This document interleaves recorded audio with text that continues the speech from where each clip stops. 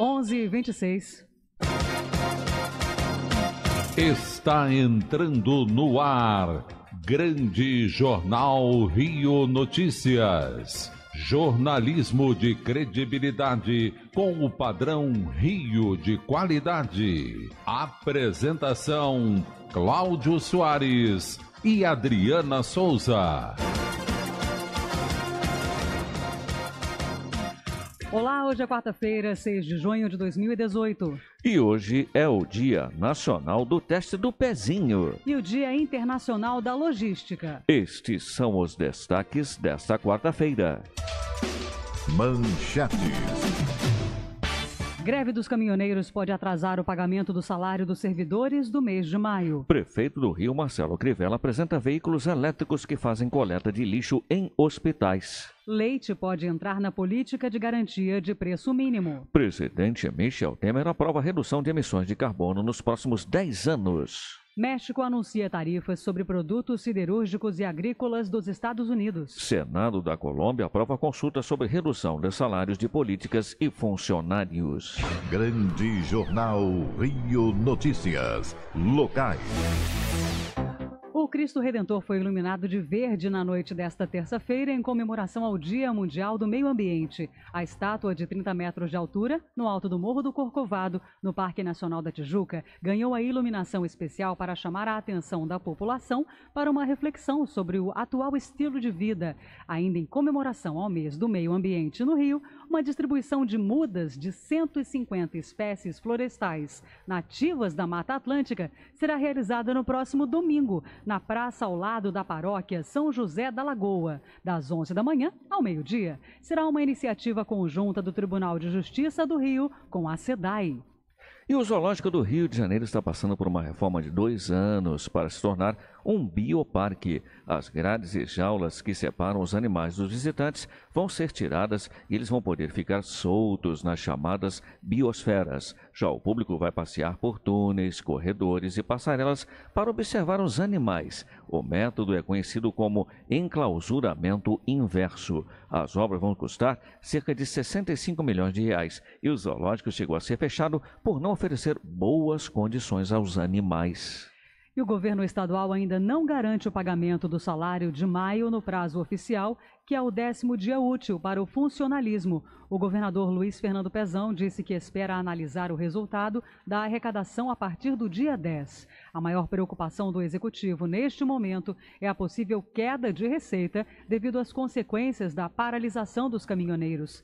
Desde janeiro que o governo voltou a pagar em dia os salários mensais dos servidores ativos, aposentados e pensionistas. Os vencimentos de abril, inclusive, chegaram a ser antecipados para uma parcela do funcionalismo, que ganhava menos. Quem recebia salários líquidos de até 3 mil reais teve o pagamento depositado no oitavo dia útil. E o prefeito do Rio de Janeiro, Marcelo Crivella, apresentou nesta terça-feira, quando foi comemorado o Dia Mundial do Meio Ambiente, três veículos 100% elétricos que a Conlub está utilizando na coleta de resíduos biológicos em hospitais da rede municipal. A cerimônia aconteceu no Palácio da Cidade, lá em Botafogo. Os veículos tipo furgão são ambientalmente sustentáveis, com 0% de emissão de gases de efeito estufa e produzem um baixíssimo ruído. Eles têm capacidade de carga de 750 quilos e vida útil cinco vezes superior à dos veículos movidos a combustível fóssil. Para recarregar são necessários duas horas e os carros têm autonomia de 250 quilômetros com velocidade média em meio urbano de 50 quilômetros por hora. 11 e meia. Cultura e lazer. Olá, Bruna Moura. Bruna, quais são as novidades de cultura e lazer de hoje? 100 quiosques da Orla Carioca, do Leme ao Pontal, vão promover atividades especiais durante os jogos com transmissão ao vivo das partidas gratuitamente, além de brincadeiras temáticas. Com o tema Rio, Praia e Futebol, as unidades serão decoradas com temas da Copa e vão ter cardápios para todos os gostos e bolsos. A expectativa é que a iniciativa atrai um público em cerca de 80 mil pessoas nos quiosques durante o Mundial. sendo 70% moradores da cidade e o restante turistas. O evento faz parte do calendário janeiro a janeiro, que prevê diversas atividades na cidade ao longo do ano. Já o Parque Lage recebe neste fim de semana o festival Live Mundi, que leva a feira de trocas de brinquedos às crianças no local. A ideia do projeto é levar os pequenos a questionar a forma de consumo desde cedo. Para participar, basta que os pequenos levem seus brinquedos usados para trocar. As crianças ainda vão poder desfrutar de exibições gratuitas de filmes. No sábado, ao meio-dia, o documentário Água Mole Pedra Dura será o primeiro a ser exibido. O filme explica como rios urbanos se tornaram esgotos a céu aberto. No domingo, às 10 horas da manhã, é a vez da Amazônia Eterna, que retrata as possibilidades de convivência harmônica entre a exploração da floresta e a manutenção do ecossistema. O Parque Laje fica na rua Jardim Botânico, número 414, na zona sul do Rio. E o Fashion Mall traz às telas do Kinoplex uma nova edição do projeto Cinematerna. O encontro acontece nesta quinta-feira, às 2 horas da tarde, e vai reunir as famílias para uma sessão especial. O projeto Cláudio exibe sessões de cinema para mães e pais com bebês até 18 meses. O local é todo ambientado para ser amigável aos bebês, com trocadores dentro da sala, equipados com fraldas, pomadas e lenços umedecidos, som e ar-condicionados suaves e luzes levemente acesas, bem como um estacionamento de carrinhos e de, de carrinhos de bebês. Não é preciso reservar lugares. O filme de cada sessão é escolhido por enquete de acordo com a programação em cartaz. O cinema do Shopping Fashion Mall fica na Estrada da Gávea, número 899, no segundo piso. A Aliança Francesa, em parceria com o Festival Varilux de Cinema Francês, apresenta uma mostra de realidade virtual desta quinta-feira, a 16 de junho. Os espectadores vão poder assistir à seleção dos melhores curtas-metragens franceses em 360 graus, desenvolvidos por líderes em inovação audiovisual na França. O público amante da sétima arte vão conferir os filmes em cadeiras giratórias e com óculos de realidade virtual. A Galeria da Aliança Francesa funciona de segunda a sexta-feira, das seis da tarde às nove horas da noite, e sábado, das nove horas da manhã ao meio-dia. Ela se localiza na rua Muniz Barreto, número 746, em Botafogo. E essas foram as novidades de cultura e lazer de hoje. Eu volto daqui a pouco com ciência e tecnologia. Até daqui a pouquinho, Bruna Moura. Obrigada, Bruna. Previsão do tempo. Rio e Niterói com céu parcialmente nublado, temperatura estável, umidade relativa no ar 69%. Para amanhã, a previsão é de céu parcialmente nublado. Agora aqui na Ilha do Governador, 26 graus. Grande Jornal Rio Notícias Nacionais. O Brasil deveria investir até cinco vezes mais do que gasta hoje para garantir uma educação pública de qualidade, da creche ao ensino médio. É o que afirma o estudo lançado pela Campanha Nacional pelo Direito à Educação. O cálculo do custo aluno-qualidade inicial leva em consideração os custos necessários para a formação e valorização dos professores, despesas com água, luz e telefone, além de aquisição de materiais em geral, como equipamentos para esportes, brincadeira e música, aparelhos e utensílios para a cozinha, coleções e materiais bibliográficos, entre outros. A maior diferença está no investimento necessário para garantir creches em período integral. E o senador Dalírio Beber, do PSDB de Santa Catarina, foi confirmado como relator do projeto de lei de diretrizes orçamentárias do ano que vem. A proposta define parâmetros e metas para a elaboração de um orçamento no próximo ano. Inicialmente, cabe à Comissão Mista de Orçamento do Congresso Nacional fazer um estudo sobre esse documento e lá que o relator e é lá que o relator vai apresentar um parecer da LDO após ouvir especialistas no assunto, para que deputados e senadores analisem esse texto. Enviada pelo governo ao Congresso em abril, a proposta previa um crescimento da economia brasileira de 3% em 2019 e inflação de 4,2% referente ao Índice Nacional de Preços ao Consumidor Amplo. E o leite pode entrar na lista de produtos amparados pela política de garantia de preços mínimos. A medida beneficia os produtores rurais, sobretudo os pequenos e médios, que tendem a sofrer mais financeiramente com as oscilações de preço do mercado. O texto do projeto de lei complementar foi aprovado nesta terça-feira pela Comissão de Assuntos Econômicos do Senado e segue para o plenário da Casa, com pedido de urgência na votação.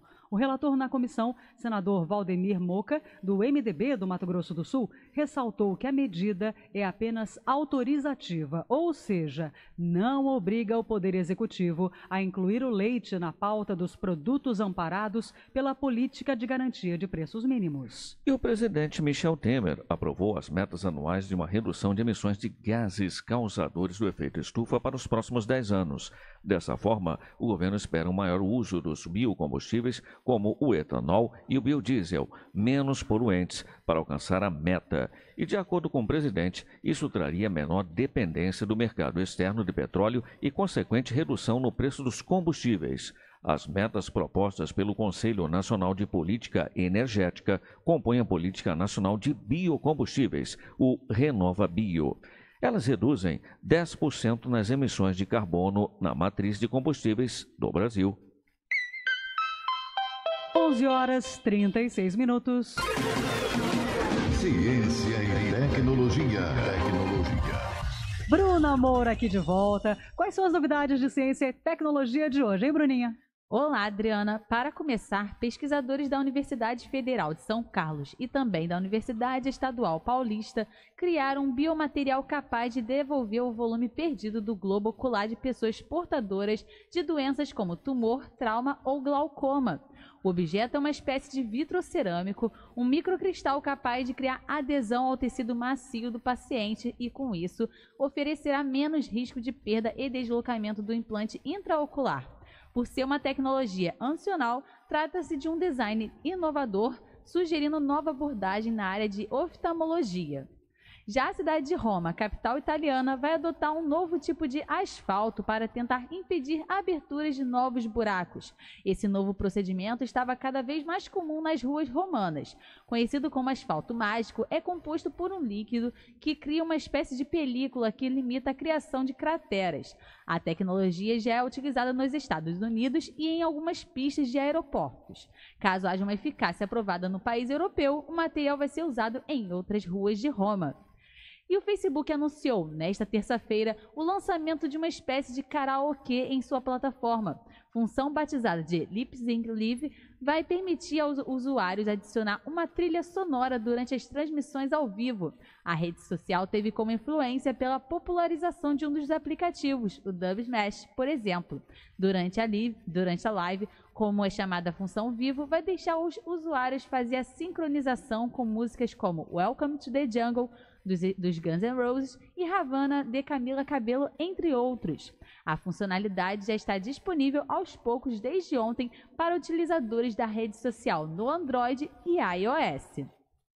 Enquanto os motoristas brasileiros sofreram com a greve geral dos caminhoneiros, o apicultor Luiz Jordans Ramalho Alves garantiu um combustível etílico por meio da produção do mel.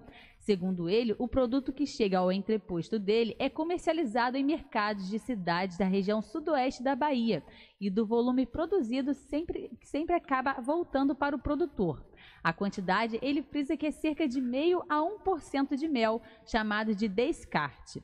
O produto retorna por pequenos defeitos, como embalagem trincada e que gerou riscos de contaminação, por exemplo. E fico aqui com as novidades de ciência e tecnologia de hoje. Eu volto amanhã com muito mais para vocês. Até lá. Até lá, Bruninha. Obrigada. Até lá. Grande Jornal Rio Notícias. Em dia com a economia.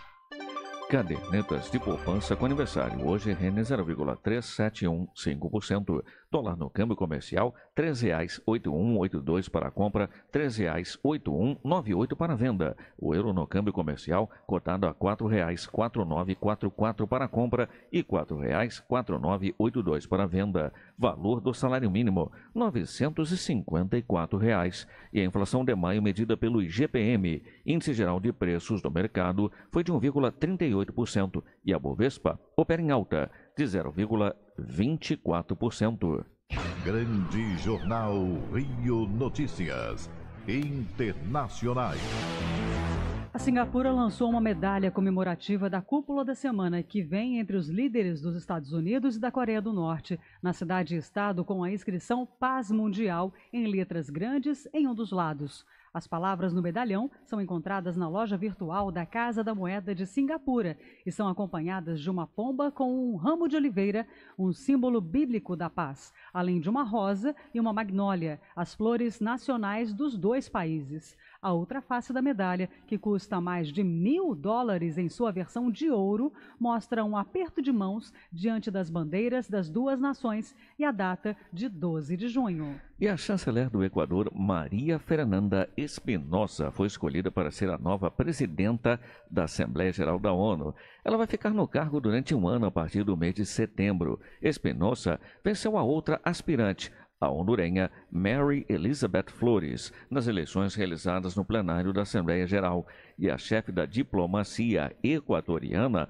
obteve o apoio de 128 países, frente aos 62 recebidos por Flores, embaixadora hondurenha perante a ONU.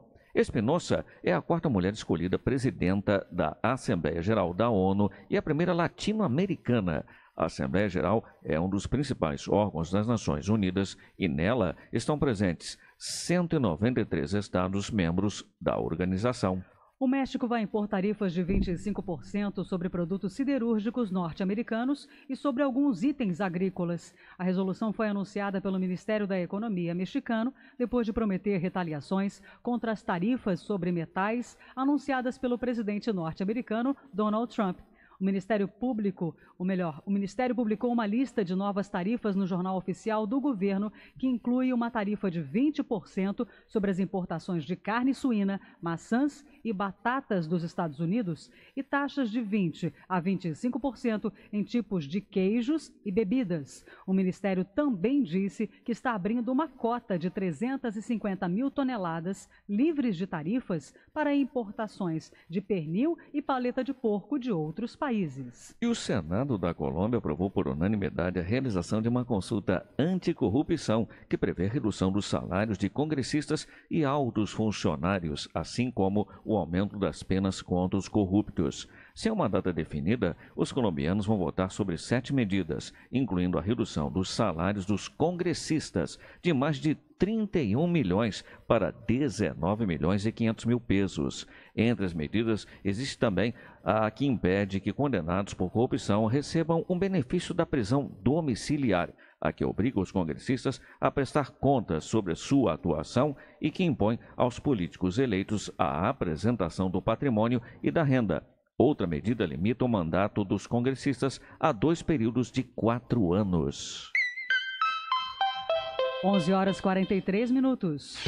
Giro de repórteres.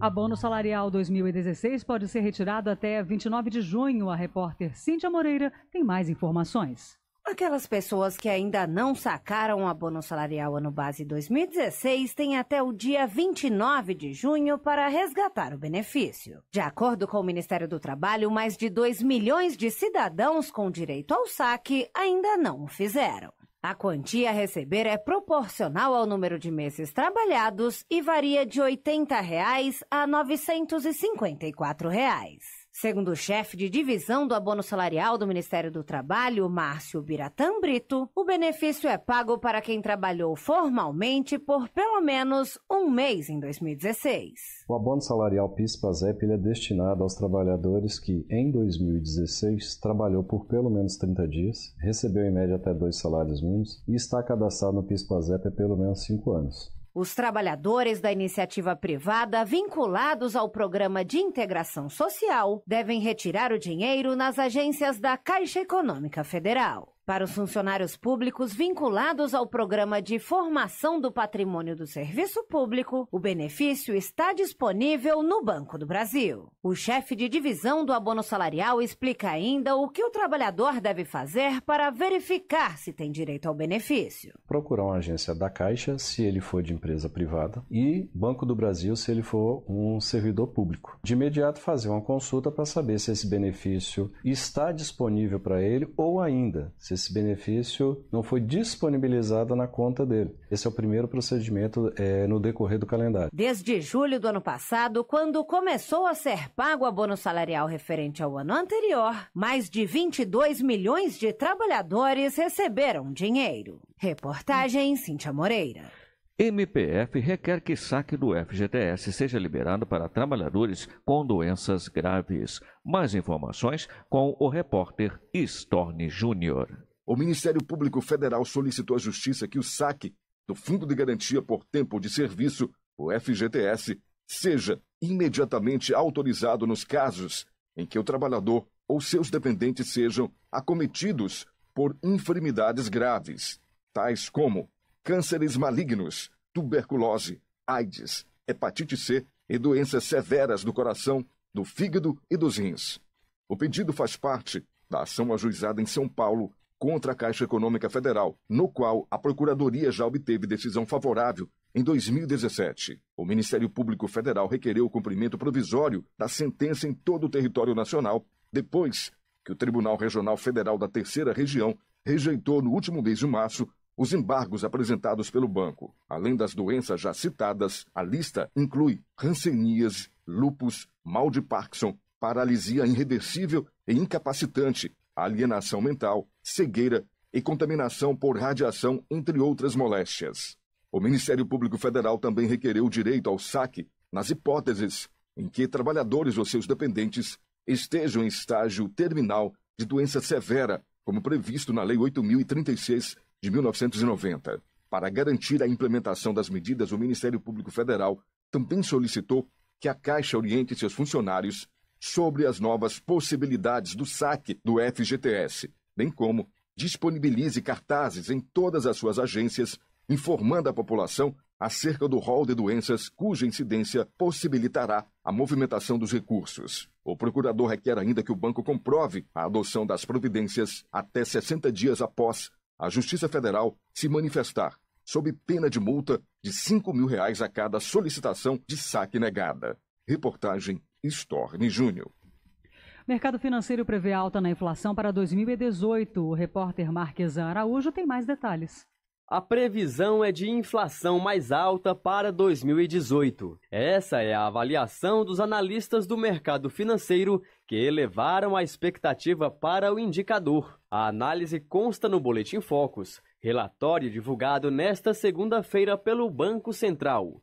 Na semana passada, o mercado estimava uma inflação de 3,60% para este ano já na última semana, a expectativa para a taxa atingiu 3,65%.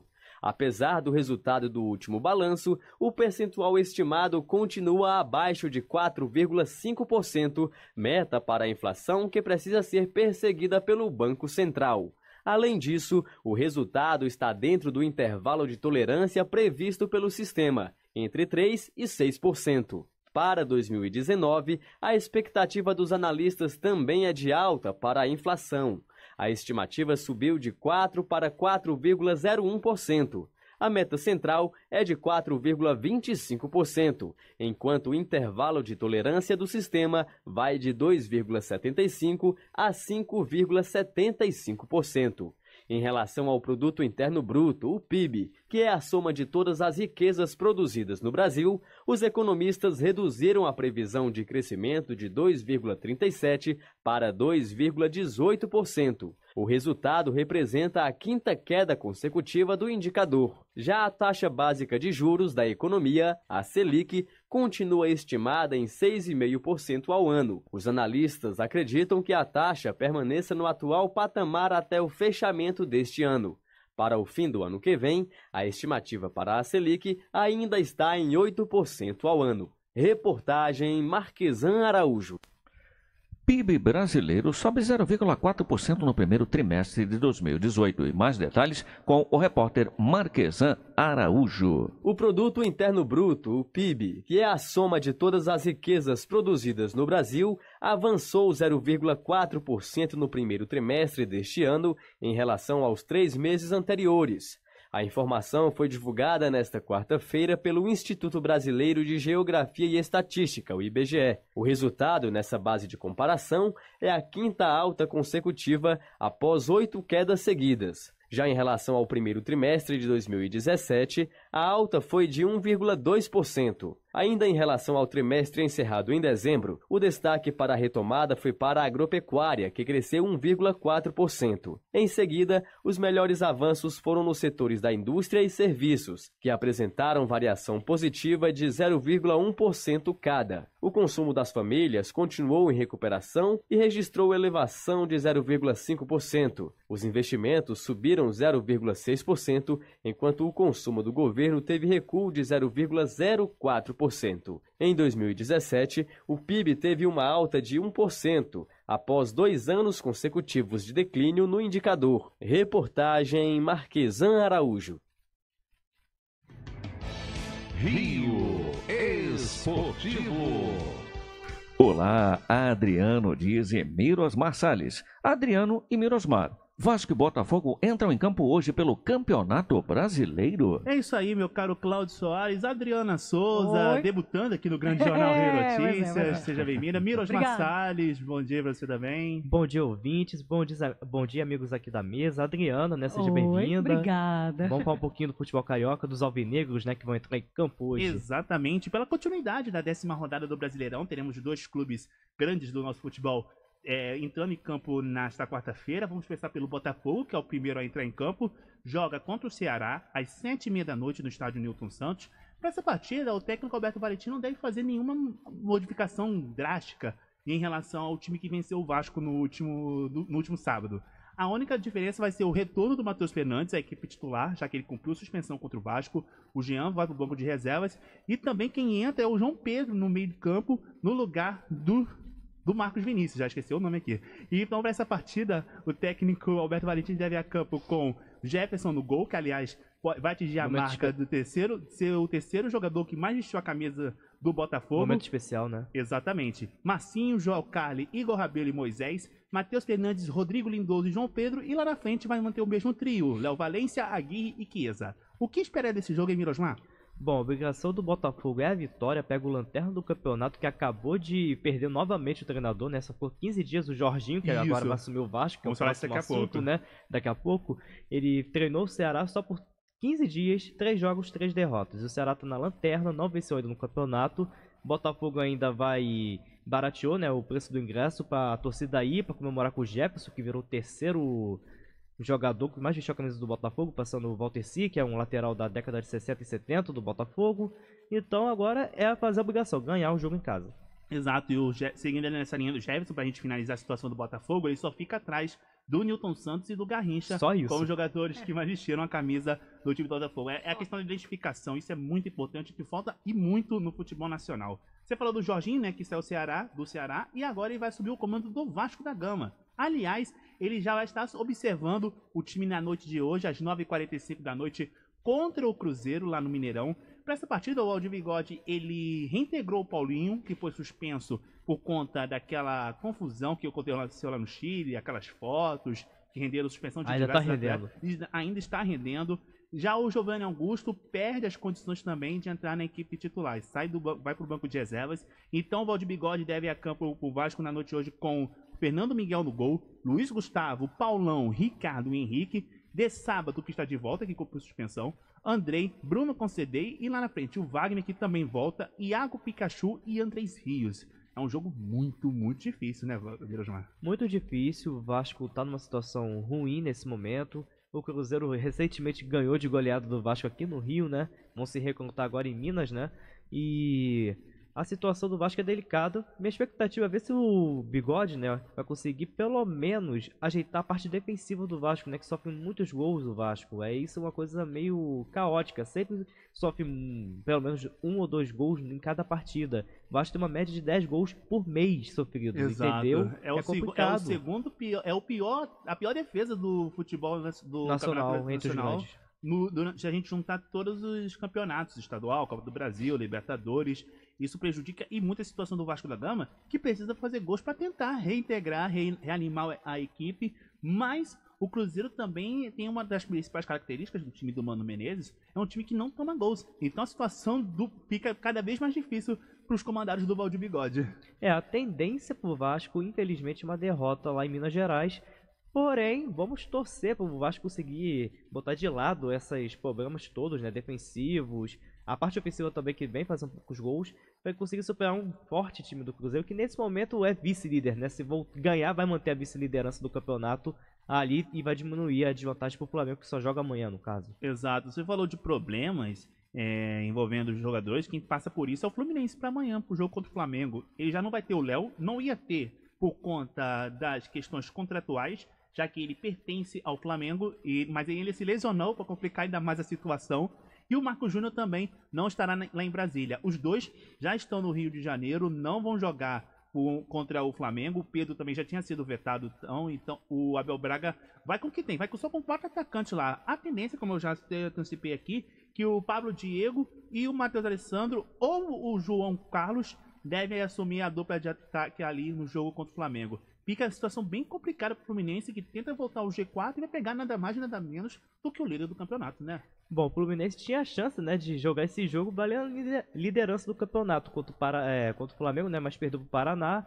E é complicado essas mudanças todas. O Fluminense vai estar com um time basicamente desentrosado. Falta elenco né, para o Fluminense, né, que isso já é uma coisa que era esperada e vai acabar acontecendo o que todo mundo já imaginava, né? Com Fluminense com um elenco mais reduzido, vai faltar peças. Vai ter que improvisar o Abel tirar um coelho da cartola, ainda mais um clássico contra o Flamengo. Sim, o Abel Braga sofre muito, muito com isso, pois é um elenco já enxuto. Não trouxe muitos jogadores para essa temporada por questões financeiras. E com esses jogadores lesionados, isso porque a gente não citou outros também que estão no departamento médico. A situação fica bem complicada ainda. Falar do Flamengo, o Flamengo que não deve ter problemas para esse jogo. O Cuejá volta, já que ele não foi, não foi relacionado convocado. entre os 23 que vão defender a seleção colombiana para a Copa do Mundo. Por isso, a tendência é que ele assuma lá a função com o Jonas. O Maurício Barbieri deve voltar ao esquema com dois volantes. Porém, o Henrique Dourado vive um drama, já que se ele não marcar diante do Fluminense, ele atinge o pior desempenho que ele teve no tricolor das Laranjeiras. Ele ficou quase 10 jogos sem marcar, entre agosto de 2016 e início de 2017. No começo dele no Fluminense. Né? Isso, isso. Então o Flamengo, o Henrique Dourado, que vive de gols, né? Já que ele é um centroavante, precisa logo quebrar essa essa zica, podemos dizer assim, em relação ao, ao, ao, ao, fato de não marcar gols. Bom, o Henrique Dourado eu acho que não consegue suportar bem pressões, porque quando ele entrou no Fluminense, foi para substituir o Fred, que conseguiu dois campeonatos brasileiros para o Fluminense e é praticamente o maior ídolo do Fluminense nesse século. Então, ele não suportou bem no começo, teve que esperar acabar a temporada, começar a outra para mudar a história. Já no Flamengo, depois que mudou, parece que tá com aquela pressão. Ah, vindo do rival, tenho que manter o nível que fiz no rival com aqui. Certeza. E parece que ele não consegue nesse momento. E parece que isso tá piorando o futebol dele, né? Cada uhum. vez mais. Vamos então falar sobre, além desses jogos que a gente acabou de citar, tivemos a rodada que foi aberta ontem com um empate sem gols entre São Paulo e Inter. Hoje teremos Vitória e Chapecoense às 7h30 no Barradão. Às 9 da noite, Esporte Atlético Paranaense na Areia do Retiro. O Clássico Paulista entre Corinthians e Santos. E Grêmio e Palmeiras se enfrentando lá na Arena do Grêmio. Amanhã, 8 da noite, junto com o Fla-Flu, teremos Paraná e Bahia lá no Dorival de Brito. E o Clássico entre América e Atlético lá no Independência Clássico Mineiro. É isso, Merosmar? Isso. Com essas informações, encerramos a nossa participação por aqui. Até amanhã. Até amanhã, Adriano Dias e Mirosmar Salles. Obrigado, meninos. 11:59. Grande Jornal Rio Notícias. E estes foram os destaques de hoje. Greve dos caminhoneiros pode atrasar o pagamento do salário dos servidores do mês de maio. Prefeito do Rio, Marcelo Crivella, apresenta veículos elétricos que fazem coleta de lixo em hospitais. Leite pode entrar na política de garantia de preço mínimo. Presidente Michel Temer aprova a redução de emissões de carbono nos próximos 10 anos. México anuncia tarifas sobre produtos siderúrgicos e agrícolas dos Estados Unidos. Senado da Colômbia aprova consulta sobre redução de salários de políticas e funcionários. Grande Jornal Rio Notícias. Apresentação Cláudio Soares e Adriana Souza. Reportagem Cíntia Moreira, Storne Júnior, Marquesan Araújo e Mirosmar Salles. Redação Adriano Dias, Bruna Moura e Jade Marinho. Na técnica, Fabrício Ferreira e Jefferson Viola. Coordenação de jornalismo, Lohane Alvim. Sigam ouvindo a programação da Rádio Rio de Janeiro. A seguir, programa Estudo Sistematiza da Doutrina Espírita. Grande Jornal Rio Notícias. Jornalismo de credibilidade com o padrão Rio de qualidade.